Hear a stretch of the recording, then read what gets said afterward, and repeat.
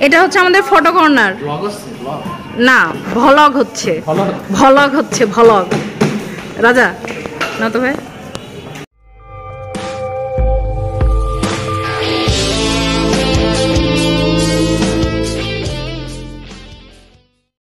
বিসমিল্লাহ রহমান রাহিম। আসসালামু আলাইকুম। আশা করি যে যেখানে বসে আমার ভিডিওটি দেখছেন আপনারা সকল আলহামদুলিল্লাহ ভালো আছেন, আমিও ভালো আছি। আজ অনেক দিন পরে কিন্তু চলে এসেছি আপনাদের সামনে সুন্দর একটা ভিডিও নিয়ে। আর আমি শিওর আজকের ভিডিওটি আপনাদের সবার ভালো লাগবে। কেননা আমরা যারা কর্মজীবী, তারা কিন্তু দিনের বেশিটা সময় থাকি আমাদের অফিসে। আর অফিসে যদি কোনো উৎসব হয় এবং সব কলিগরা মিলে যদি সেই উৎসবটা পালন করি, কতই না সুন্দর হয়। চলুন তারই একটা ঝলক দেখে আসি। এই যে নিচে নিচে নাও নিচে নিয়ে হাতে রাখানো তো দেখো। ভিডিও? হ্যাঁ এটা গুরু। হ্যাঁ আপনি শুধু দেখতেছেন কিছু করবেন না স্যার? কি বলব দেখো না আমরা সবাই মিলে এই যে একটা প্রোগ্রামের জন্য সব কাজবাজ করতেছি বুঝতেছো না? আমরা এখন সবাই তো কামলা হয়ে গেছি। আর আমাদের ড্রয়িং আর্টিস্ট ড্রয়িং আর্টিস্ট ও।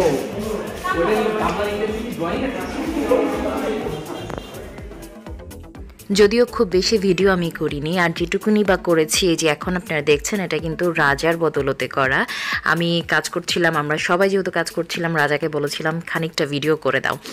আর যেহেতু এত চমৎকার একটা পরিবেশ দেখতেই পাচ্ছেন, একটুখানি তো কথা রাখতেই হয়, যার জন্য আপনারা শুনতে পেলেন। এখানে কিন্তু কেউ বসে নাই, আমরা সবাই মিলে কাজ করছি।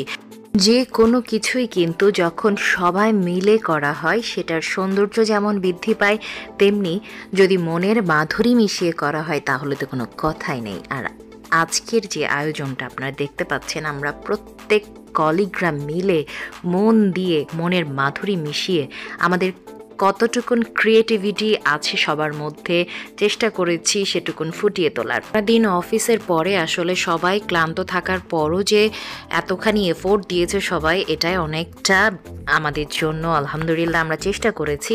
তবে কতটুকুন সুন্দর হয়েছে সেটা তো বলবেন আপনারা, কেননা আপনারা এখন দেখতে পাচ্ছেন আর যারা এসে গেছেন, তারা বলতে পারবে যে আমাদের পরিশ্রম কতটুকু সার্থক। তবে মন থেকে আমরা সবাই কাজ করেছি এবং আমরা হ্যাপি যে আমাদের কাজটা আমরা যেমন চেয়েছি সেরকমই হয়েছে। তবে আমি এখান থেকে চলে যাব, হয়তো যশোর ব্রাঞ্চে আমার এটাই শেষ পিঠা উৎসব বা কোনো একটা উৎসব। জানি না আদতে ভবিষ্যতে কখনো আবারও আসব কিনা, তবে এই যে মানুষগুলো আমাদের সাথে ছিল, একসাথে আমরা কাজ করেছি, হয়তো এই পরিবেশে এইভাবে সবাইকে পাবো না। এই যে দেখতে পাচ্ছেন এখানে চিতাই পিঠা, বাতাসা, তারপরে গুড়ের গজা, সিদ্ধ পুলি পিঠা এবং আরও আছে এই যে পাতা পিঠা, তিলের নাড়ু আছে, সেই সাথে জিলাপি দেখতে পাচ্ছেন এবং আরও আছে কুলি পিঠা বা আপনারা ভাজা পুলি বলেন, সমুচা আছে। পাটিসাপটা, তারপরে সবজি পিঠা আছে। মানে আমরা চেষ্টা করেছি বাংলাদেশের ঐতিহ্যবাহী যে পিঠাগুলো আছে, সেগুলোকে এখানে রাখার মোয়া আছে। আর চিতাই পিঠা যেখানে আছে, সেখানে তো ভর্তা লাগবে আমরা শুটকি ভর্তা এবং ঝাল ভর্তা রেখেছি। ভাপা পিঠা ছিল, গজা ছিল, নারকেলের নাড়ু ছিল, ফুলঝুরি বা জামাই পিঠা, আমরা যেটাই বলি না কেন, এটাও ছিল। সাথে পাকান পিঠাও ছিল এবং এই যে দেখতে পাচ্ছেন র্যাপ করে আমরা যে সুন্দরভাবে এটা উপস্থাপন করেছি। এই যে এখানে দোলন পিঠা বলতে ভুলে গিয়েছিলাম মুড়ি, মুরগি গোকুলদানা সবই ছিল। মোটামুটি আমাদের সামনের যে ডেকোরেশন টেবিলটা পুরোটা ভরে আমরা চেয়েছি সাজিয়ে রাখতে এবং আমাদের অতিথিদের আপ্যায়ন করতে। আমাদের কোনো অংশে আসলে কমতি ছিল না। আর এই যে পরিশ্রম করেছি আমরা সবাই মিলে, তারই যে একটা ঝলক আপনারা দেখছেন, আশা করি আপনাদের ভালো লেগেছে এবং আমাদের ব্রাঞ্চ ম্যানেজার স্যার অনেক আন্তরিক এবং এত সুন্দরভাবে আমাদের সবাইকে সহযোগিতা করেছে। তার নেতৃত্বেই বলতে হয়, এত চমৎকারভাবে আমরা একটা উৎসব মুখর পরিবেশের মধ্যে দিয়ে আমাদের উৎসবটি পালন করতে পেরেছি। এটাই ছিল আমাদের সকলের সার্থকতা।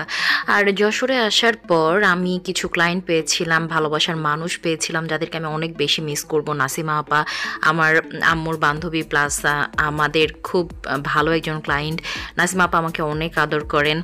তাকে আমি খুবই মিস করব। আর সেই সাথে নিরু, শামসুন্নাহার আন্টি ফারুক আঙ্কেল আমি আসলে মিস করব ওনাদেরকে। আর আজিজ ভাই, সাথে জুয়েল ভাইয়া, আমি কিন্তু অফিসে থাকাকালীন সময়ে ঢুকলেই সকালবেলাতে যখন আজিজ ভাই আসতো এবং জুয়েল আসতো, আমি কিন্তু সুন্দর করে ডাকতাম, ভাই, আসলে কি আমার তো ভাই নাই? আর যার জন্য যাকে ভাই বলে ডাকি, তার প্রতি ভালোবাসাটা অন্যরকম থাকে। আর সোনিয়া আপুর কথা তো বলার কোনো অপেক্ষাই রাখে না। সোনিয়া আপুকে যেমন আপু ডেকেছি অনেস্টলি আপুকে আমি অনেক লাভ করি। আপুকে আমার ভীষণ ভালো লাগে। আপু আমার আপু। আর আজিজ ভাইয়া আর জুয়েল ভাইয়ার কথা আসলে বলে বোঝাইতে পারব না। এই দুটা মানুষকে যে ভাই বলে ডাকি মানুষ দুটা কিন্তু সত্যিই আমার ভাই।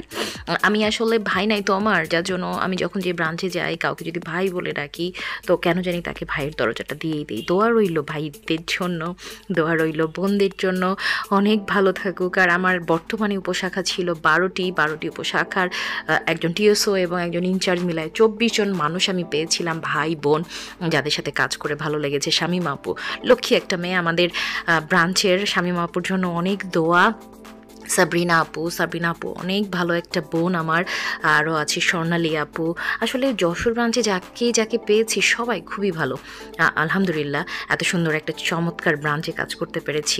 তার জিনা বুবু, তোমাকে কতটা ভালোবাসি, তোমাকে কতটা মিস করব, এটা হয়তো আমি বলে বোঝাতে পারব না। তবে তোমার সাথে বইন, অনেক তাড়াতাড়ি দেখা হবে, এটা আমার বিশ্বাস। ভালো থেকো, তোমার জন্য দোয়া অন্তরের অন্তঃস্থল থেকে।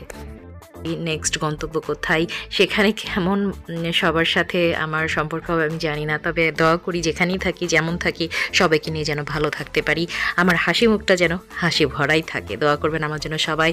আর মিস করব আমি সবাইকে। সকালবেলায় যখন অফিসে ঢুকি গেটে যে ভাইয়া বা আঙ্কেল থাকে, তাকে যেমন মিস করব, ঠিক তেমনি ঢুকতেই যে সালাম দিয়ে যায় আমাদের রাজার বাবাকে, সেই আঙ্কেলকেও আমি মিস করব। আমার প্রত্যেকটা অফিসারকে আমার কলিগদেরকে সবাইকে ইন্ডিভিজুয়ালি আমি মিস করব। নাম বলতে চাচ্ছি না, বলব না, হয়তো নাম বললে কারোরটা বাদ পড়ে যাবে, আমি সে কাজটা করতে চাই না।